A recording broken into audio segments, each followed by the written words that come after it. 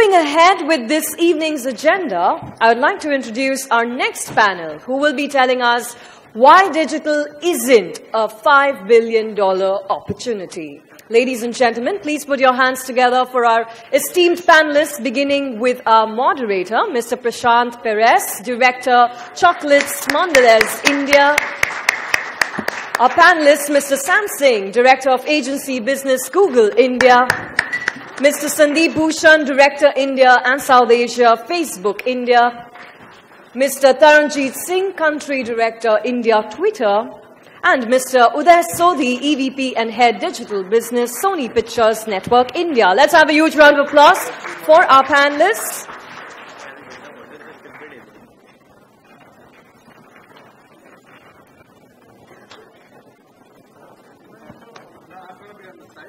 And Mr. Peres, over to you, sir.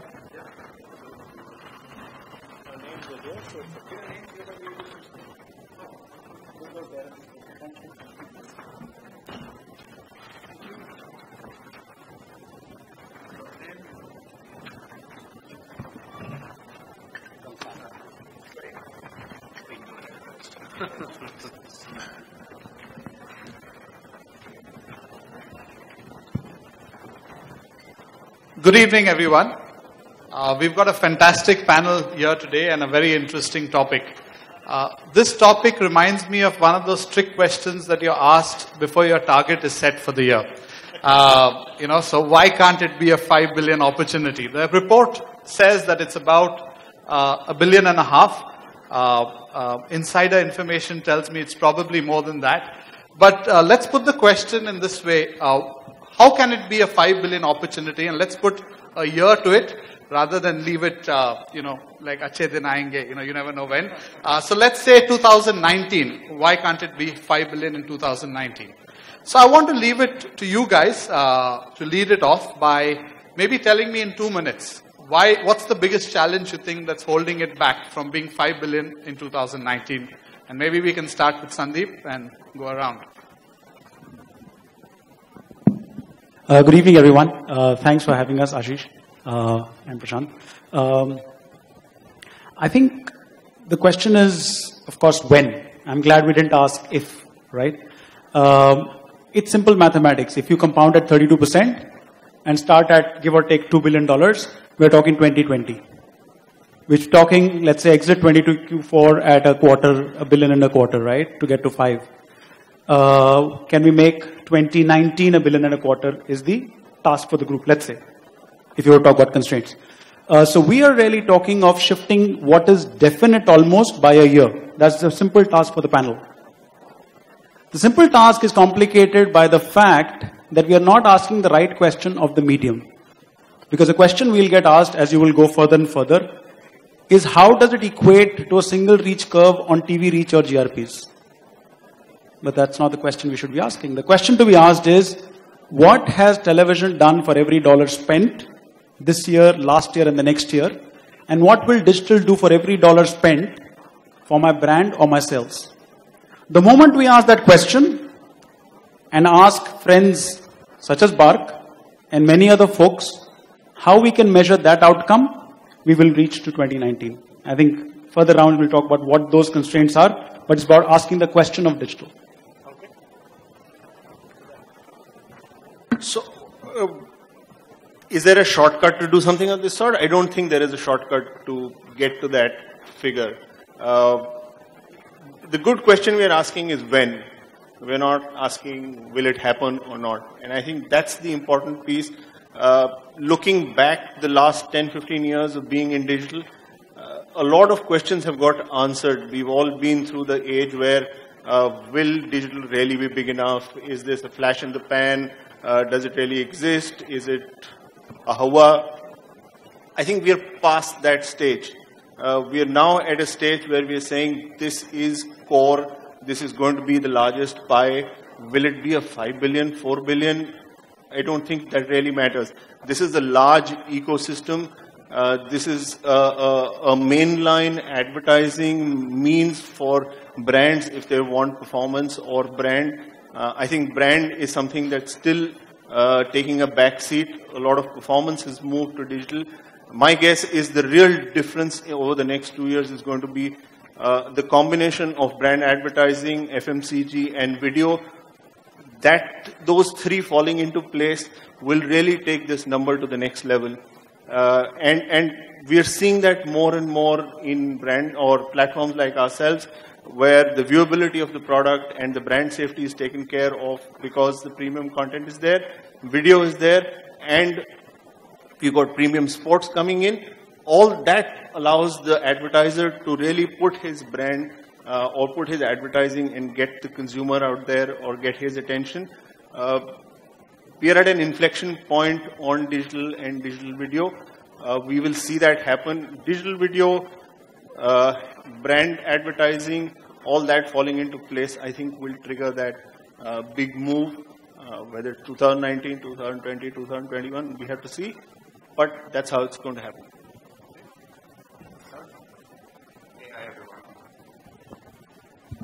Hi, everyone. Uh, before I answer that question or give my view, a, a, question to the audience. How many of you, first thing in the morning when you get up, see your mobile phone, last thing when you sleep at night, see your mobile phone? Quick show of hands.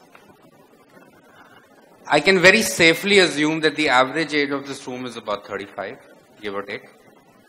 Now, so I'm not talking about the first row, Naval. I'm talking about the room. Uh, my question to you as a marketer, have you briefed your agency ever that mobile only campaign, whether it's your creative or media agency?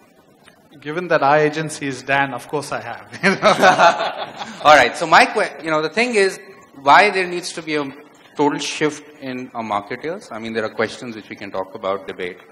But I think the fundamental thing is that money will follow audience. Audiences have already moved on to mobile. I don't think we need to move this case too much. But for us, I think the biggest question will always be that TV reaches about 500 million people every day. Mobile by the end of 2018 in India, uh, internet on mobile will be over 500 million. 2019 should be a tipping year because if you follow the growth rate, we should be over 750 million mobile internet users in India.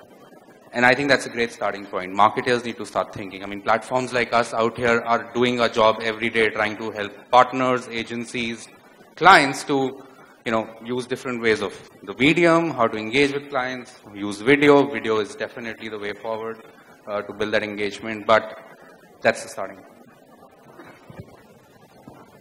Before I answer the question for you, I'll just take you on a small kind of anecdotal journey.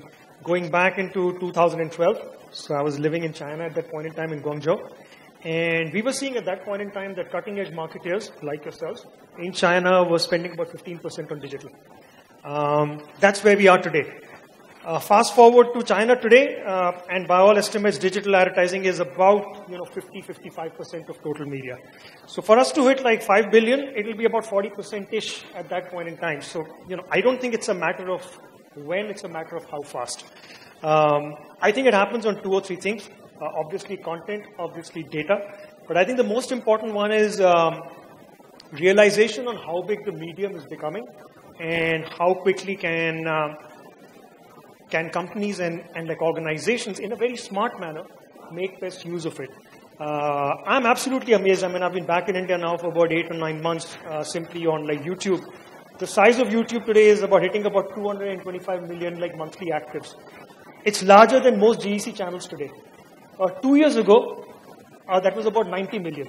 So that's the kind of rapid change that we are seeing thanks to Jio, thanks to all of the others, you know, thanks to what we are seeing on data.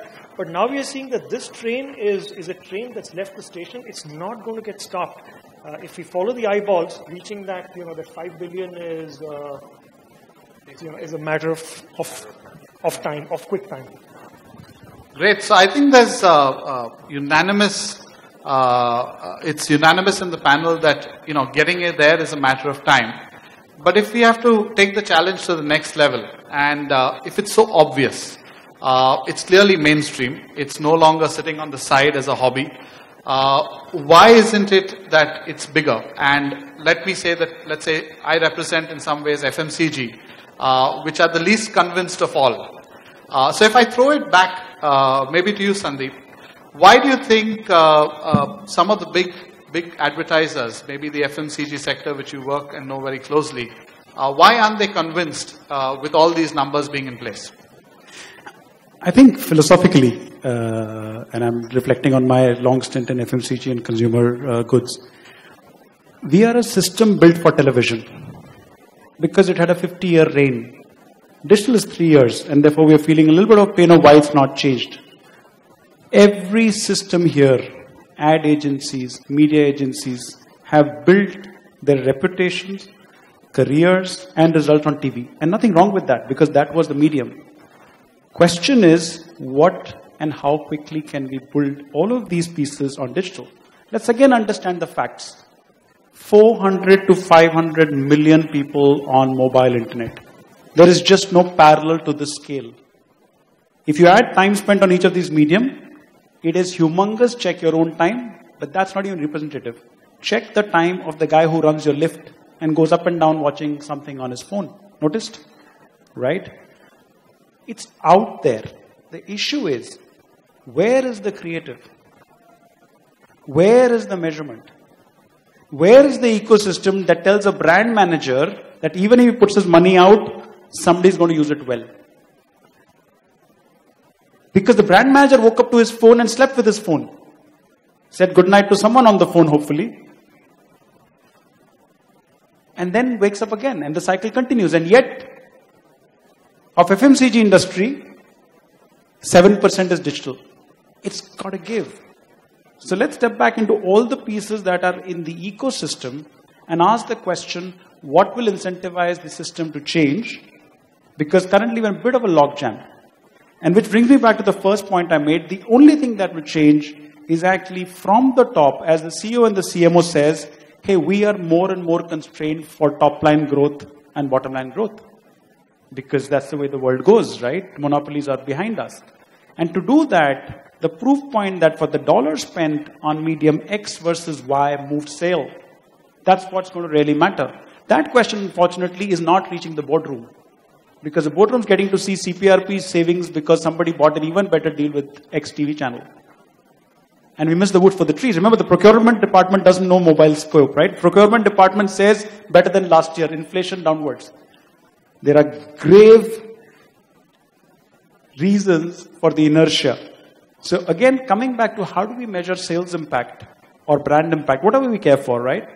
The reason why e-commerce moved to digital because they could see products off the shelf. But there is no reason why today, with the power of the folks in this room, we will and should commit to moving stock off shelf for an impulse product uh, or a consumer good. And that is the conversation. The moment it gathers steam, a lot of the systems will work towards making that happen because the agencies that are signing contracts, whether it's DAN or Ogilvy, in the end, at the core, are saying we move your business, right? It's just that the metrics are not shared. So I think that is the debate. And the moment we get to debate, we also move away from the debate on formats. We talk of video. Is an Instagram stories a video format? Anybody seen Instagram stories recently? Back of the room, yes. Front of the room, no. Don't worry. Actually, I'm not going to put you on a spot on this one. We're talking of average age, but distribution makes the point better than averages, right? Absolutely. So is Instagram stories video? Question mark. But if we measure therefore Instagram story length, I think we'll miss the wood again for the trees. Because somebody saw it and somebody moved business because of that, and we were measuring video length rather than saying, hey, did I sell more gems or CDM or Bournville? You know, and that's the question, therefore, I'm at. So I think that's uh, a good point to. Can I just Sure. add? So I think we're at a we're we're going through a huge disruption here. There's billions of dollars moving from one form of advertising and the way business is being done to another form of advertising and the way business is done. So the ecosystem that worked behind it uh, have to adapt to this whole new way of doing business. Are we geared? And I don't think any other form of business has got created out of the blue at such speed. Uh, you know, we've had panelists earlier coming and saying the consumption's gone through the roof, and I'm telling you, being in SonyLIV, I've seen the consumption over the last two, three years. The consumption just gone through the roof. The way people watch cricket and the way we, people watch entertainment content. And once the consumer has come in, we will see the advertiser coming because the ecosystem has to fall into place. It's only a matter of time that that will happen, and the, the video is probably the big equivalent that one is able to see in terms of advertising. So just stepping back a little, if you look at any other digital advertising today, it doesn't stop the content and come in your face. If you look at television today, the ad stops the content and the ad plays out. Video on digital is the only comparable equivalent which says content stop and the ad then plays out. Therefore, you are able to get significantly higher value and significantly higher viewability and therefore you're leading disruption through it, which is what the report also says. I think there is a huge change that has happened in the last one year and it's only 18 months to put it into perspective. Uh, and therefore, we have to make sure that the whole ecosystem falls into place, the advertising, the measurement, uh, and platforms like us have to be ready to accept that uh, load and the deliverability. So there is a huge change happening, and we have to be ready for that change with all of that falling into place. You know, building on what you've said, there is a question that comes up, and maybe I'll put it to you, Sam. Uh, it's a question that comes about how willing are consumers of digital willing to accept the intrusion of advertising. And uh, I ask this question because of the increase in the amount of ad blocking that's happening, paywalls. And it's not just, you know, quantitative figures. We are beginning to hear direct consumer contacts. People feed this back to us. Uh, so do you want to take this question on how intrusive is advertising on digital? Because we've not grown up with it, let, let's say we've grown up with ads on television and maybe accept it a little more.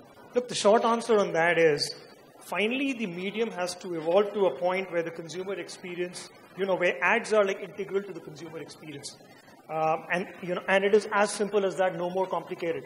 Um, and, you know, and I think the, uh, I mean, like the medium is kind of evolving in that space.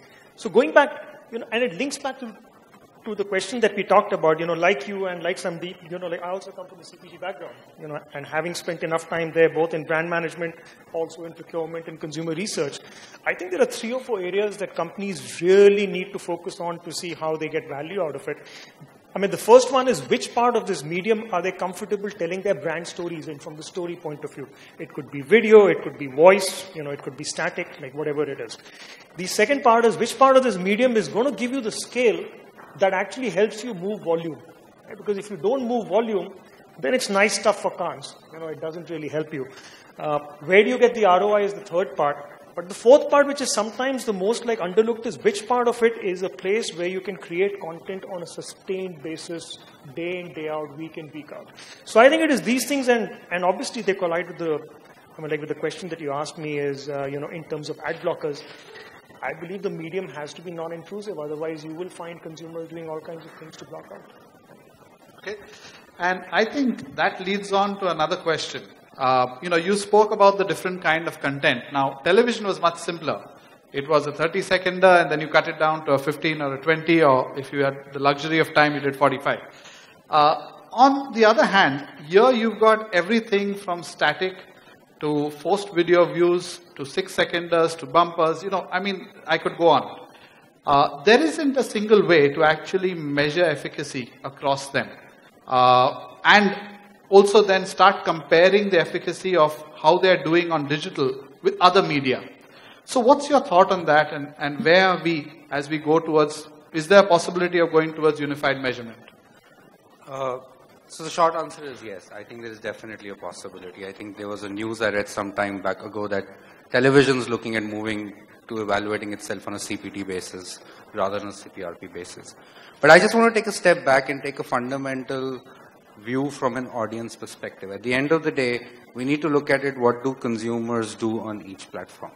Now, for example, if I'm coming to a platform and I'm consuming a certain type of content, and you know whether it could be looking at what's happening around the world in terms of news or looking at premium videos from publishers or things how do people behave and consume now within that if an advertising flows natively and is part of how it runs consumers get used to a certain way of looking at content on a particular platform. So I don't really see, I mean, I wouldn't call this a big red flag about uh, ad blockage or people getting averse on being intrusive, advertising being intrusive. I think it's about an evolution of the medium. If content is going to be consumed first on, on mobile, on this is going to be the first screen, so would the consumer habits evolve. Uh, I want to make a point on uh, formats.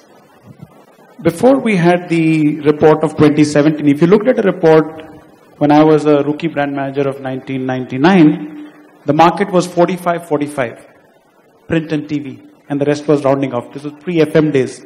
Some of us were not even in school then, but you know, there were two formats. There was a video format and there was non-video format. And they existed and coexisted 50-50 and the world carried on. Of course, the industry made no effort to get them on a single platform of any kind. Nobody added reach. No tool gave you combined reach slash impact. Nobody measured page 17, advertising seen, not seen, blah, blah.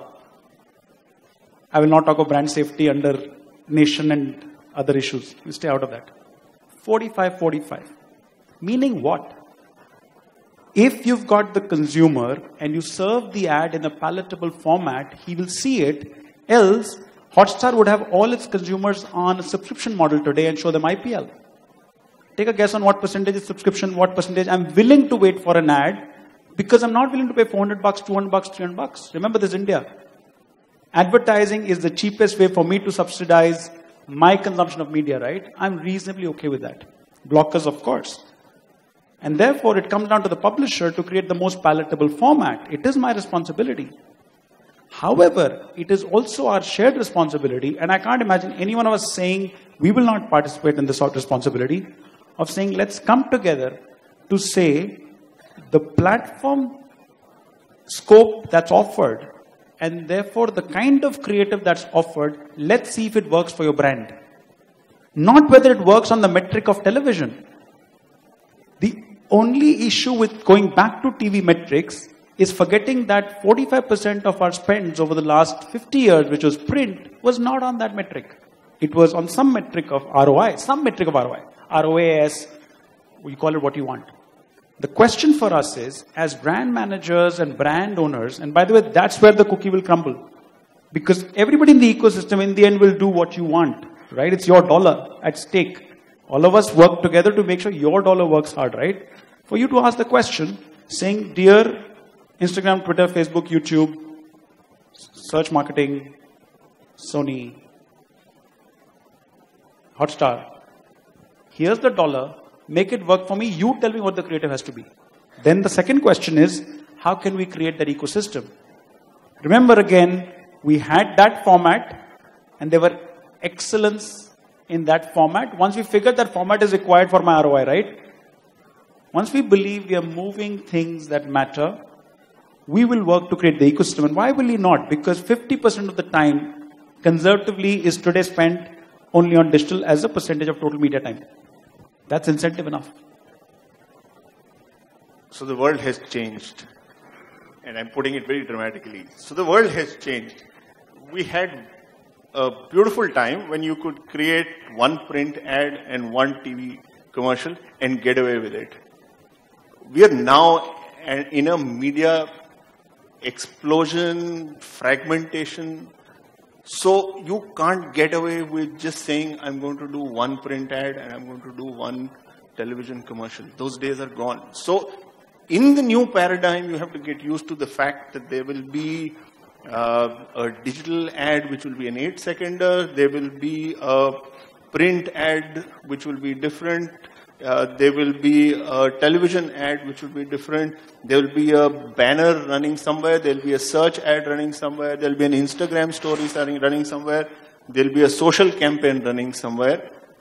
And the challenge for an advertiser or a brand manager is, how do I put it together into one template and show internally saying, no, I've done a good job. And I've done an ROI and my brand works. That, I think, is the bigger challenge we all face and not whether the, the fragmentation has happened. Fragmentation is a reality. We can't run away from it. And it's only going to increase as more and more screens come into it. And I want to ask a question here. How many of you have seen content uh, on a big television, connected television in the last six months? Okay, probably 10%. And I can lay a bet if we do this conference next year, it will be half.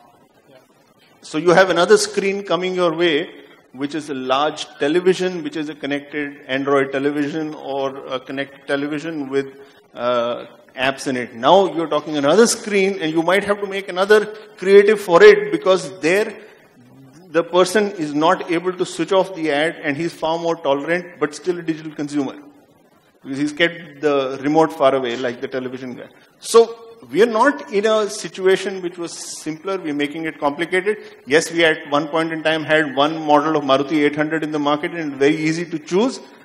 But life has changed. We have 40 models being launched in the market today and it's difficult to select a car. So the same thing is going to happen in the media market. It's up to us as owners of media and partners in the advertising fraternity to create models which will help the brand owners to be able to put the money sensibly and show that yes, it has worked for them. I just have one point to add here. I mean, it's a great point Uday made. Uh, if you look at today, most of the content producers, I mean, we guys are mostly platforms, right? I mean, apart from a Sony. If you look at most of the content producers, and I'm talking about mainline television companies, today they are producing digital first content, right? Consumers are evolving, products are evolving, media is evolving, it's marketers. Now, if you look at it, take a step back. Marketers actually scrutinize all of us in the digital world much more minutely than they do with the television players we have. Why? And that's my question to you, why? I think you'll just provide us with a lot more data. uh, but, but, but having said that, uh, I think uh, another interesting question that comes is, and it was mentioned by Abik as one of the challenges, uh, and that was around the space of fraud. Uh, and I'll talk about two points uh, simultaneously. One is fraud, and the other is brand safety. Uh, you know, where is your ad really getting served? And even with programmatic, it's not possible to completely control that. So maybe Sam, uh, you'd want to pick this up and say what can be done about it? Uh, what can be done to assuage the fears of marketeers? I don't want to pick it up, but if you insist. Okay. I no, insist. but see, listen, these are, I mean, really important questions. Let's start with the brand uh, suitability, brand safety one. Uh, Google on YouTube, like, you know, loads up about 400 hours of content every minute. You know, that's the kind of, of pace at, at which it is uh, going. In the last one year, we have made like significant uh, you know, investments in two specific areas to, uh, to like work around this. We have made investment on the people side uh, by the end of this year, we will have about 10,000 people, you know, focused on the area of brand suitability. Uh, we've got internal, uh, you know, flaggers working along with external partners, including NGOs, to uh, to make sure the flagging is going in the right direction. But more importantly, we are getting in automation to help us take the flagging that the, you know, that the manual flaggers are doing, and learn from that, and then start reapplying it into other videos. So, for example, about 98% of the videos that, uh, like, that are getting knocked off are now being knocked off on the learning on the basis of the 2% through machine learning systems. In the last six months, we have taken down about 150,000 videos which are in the space of violence. So that's the level and scale at which, uh, at which work is happening in the space. Um, and we will continue to like lean forward and make sure that we do more work as well. Uh, you talked about, uh, you know, the other side on fraud. We have about 150 algorithms that are working today, which have kept out fraud. We started with our own owned and operated properties we have taken it now through DBM and uh, you know you know, and through like, uh, and through GDN to our partners on the publisher side as well. Uh, and these are challenges that we are working on in a, you know, in a major way. So yeah, you're absolutely right. Uh, these are areas that are of real, you know, interest to. I want to make a point on, uh, yeah, thanks. Uh, on how do we get uh, visibility to what happens on the platform? I think that's the underlying question. Uh, and I represent Facebook on this. I'm sure Twitter, Google, Sony all would be working at various places. One of the large investments we are making constantly is to be measurable. So when we talk of whether a bot went and saw an ad, you would go to a partnership with global players, example, Moat, right? You want to know hey listen, did a male see my ad or a female see my ad when the intended target audience is given as one of the two or both? Get someone like Nielsen to do a DAR read. I think given the opportunity that's in front of us and given the fact that we clearly recognize that the consumer time is well ahead of the advertising share, the gap, while we've talked about the issues conceptually, will need all of us to put all of this out. Yeah. And I touched upon the ecosystem play, which is uh, creating capability. And in fact, we work closely with DAN on every one of these dimensions, measurement, uh, creative support, but also in opening us ourselves to measurement as far uh, or almost in entirety. Today, like I was suggesting, every piece of communication, where it was delivered, sorry, to whom it was delivered, uh, what was the view, whether it was human, non-human, uh, all of that is now visible. And then to that extent, therefore, there is that much more transparency for people to take the right decision. So these I would call barriers. But the triggers have to be in the capability space. And again, uh, I know, I, I, imagine many in the room will know, we have a team, for example, when my team goes to a customer like yours, Prashant, you met all of them, there'll be a measurement team, there will be a creative team, and there'll be a solutioning team. Because this is how we mirror your organization every morning. Because it's not done till we finish every part of these jobs. Over a period of time, the ecosystem will come in. So very, very significant investments in transparency and measurement and very, very significant investments in processes and capabilities to mirror the gaps currently uh, that need to be filled. Fantastic. I think uh, this is also a good time for me to segue and ask the audience if you all have any questions for these gentlemen out here. Uh, so maybe we can get a mic to the gentleman out there. We've got time for about two or three questions maybe.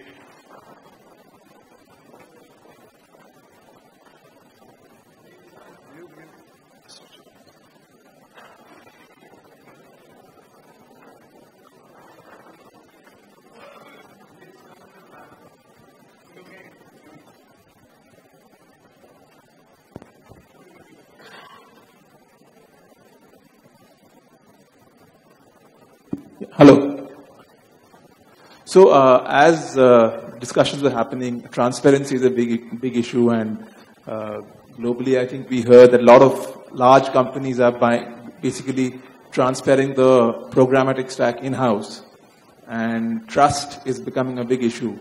Uh, in the next, I think, three, four months, GDPR is going to become a reality in Europe, which is the global data protection regime. And uh, manifestation of that will also happen in India when the new telecom, new internet policy is unveiled in the next three, four months. So are there any concrete plans that the media agencies and the large companies uh, like Google and Facebook, are they doing anything to make sure that they're ready for the GDPR regime globally and uh, the ma manifestation of that in India? Thanks, Sam. Uh, I think every country is evolving its own regime. Uh, in fact, sometimes to a surprise of the lot of the world, as we saw on zero rating in America recently. Um, and I think it is incumbent on every one of us to be compliant to local regulation. There is just no way, right? Uh, we will continue to work with telecom, media, and other regulators as will be required because that is your ticket to be in a country, right? So as things will flow, uh, we will be more than ready at every stage. Uh, before Sam answers, maybe the next person who wants to ask a question, uh, you could put your hand up and we'll get the right mic across to you. Sam, over to you. So the only thing that I'll add to, uh, you know, to what Sandeep has already said is um, we at Google take it really seriously. That's one of the reasons why also from a targeting and from a measurement point of view, we are very, very careful on the level of PII data that we want to use or not. Um, and you know, absolutely right that we will, you know, we will more than comply with what the local regulations are and the regulatory environment is. Uh, you know, that you know goes without saying. Yeah. Fantastic. Any other questions? Slightly tougher ones, maybe.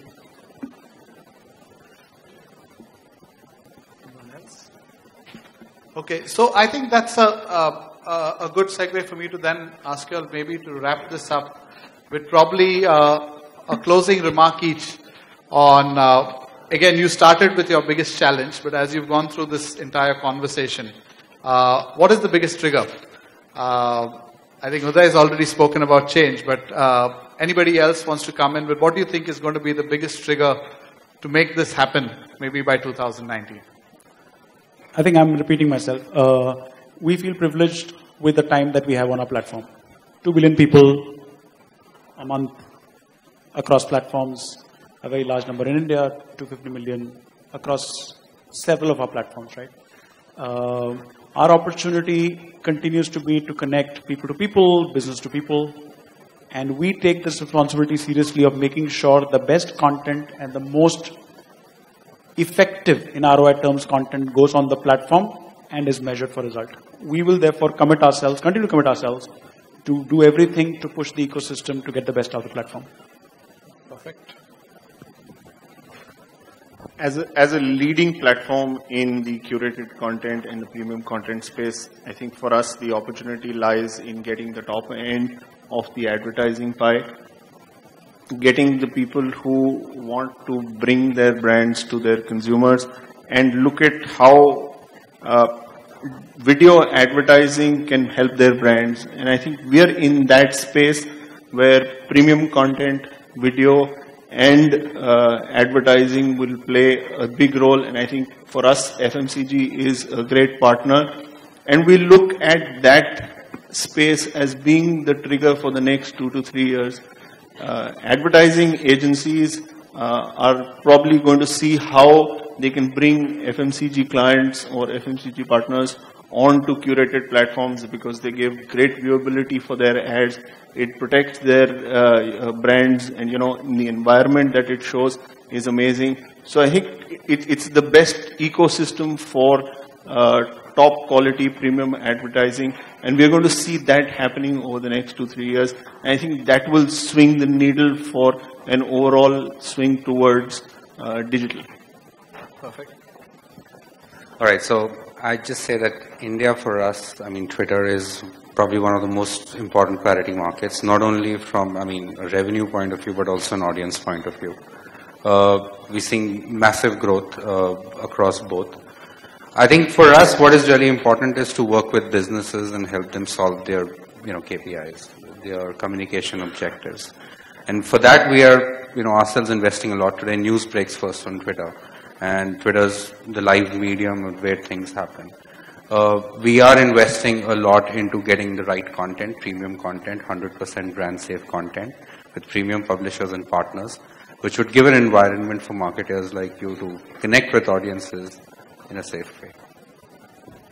So I'll just kind of, you know, kind of add to what they've already said. For us, for each one of our 7 billion kind of user, I mean, the 7 1 billion user properties like India is either number one or number two in terms of usage. Uh, for us, we are and we continue to partner with, you know, with, uh, I mean, like with companies such as yourselves on helping in creating content, on delivering scale, on measurement and ROI. My request to marketers will be, I think, two things. One is choose formats in, in digital that you are intuitively comfortable with as an organization. So keep the numbers and the math and all that aside, but places where you are comfortable telling your stories at scale time and time again. And then on the measurement side, yes, there will be measurement, but have some really, really smart, uh, you know, kind of research people who are able to do like back of the envelope calculations and combine, you know, knowledge from different places into developing a point of view which the organization can work with. Very Fantastic. So there you have it, ladies and gentlemen. I think uh, this is not a just digital is not just a train that's left the station. It's like a juggernaut that's left the station. Uh, so you guys have definitely got me convinced. I'm probably going to sit with Ashish tomorrow and rejig our plans. But uh, thank you very, very much for your point of view, and uh, have a fantastic evening. Thank you. Thank you very much, Mr. Peres. I'd request all our panelists to stay back with me. And I'd like to invite on stage Mr. Azim Lalani, Firstpost Business Head, and Mr. Rajiv Singh, Business Head, Net News18.com and CricketNext. Please join me on stage to present a token of our gratitude to our panelists and moderator.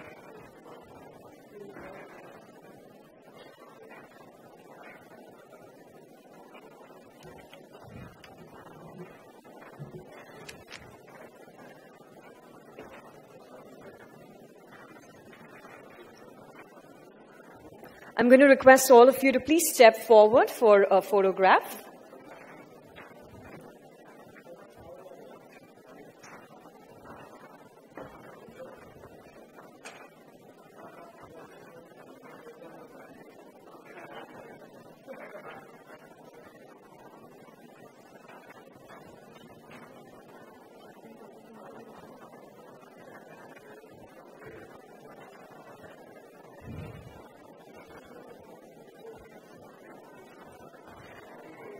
All right, can we have a huge round of applause for our panelists? Thank you very much for that very, very interesting discussion.